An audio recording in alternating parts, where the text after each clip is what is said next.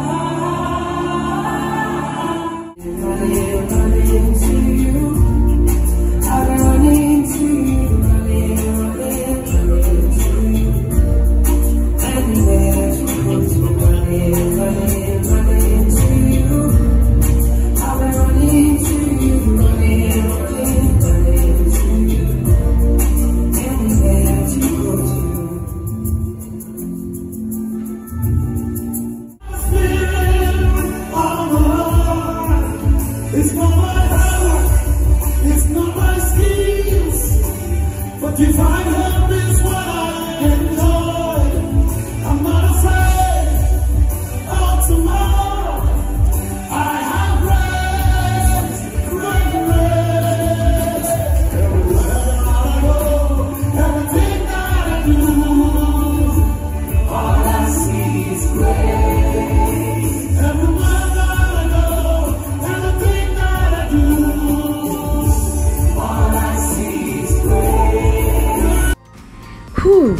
didn't you just love that? I know it was not the whole thing, but this play was amazing. I had so much fun. Thank you, Mr. Patrick Otero. I look forward to the next one. And when we were done, of course, we had to take more pictures. What do you think?